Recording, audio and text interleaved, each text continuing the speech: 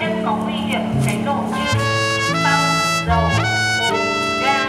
và cả hóa chất dễ cháy nổ trong khu vực kinh doanh của trường, siêu thị, trung tâm thương mại, cơ sở sản xuất, kho chứa hàng, các hộ dân và tại những nơi có quy định cấm. hai Bố trí nơi thắp hương, thờ cúng phải đảm bảo an toàn phòng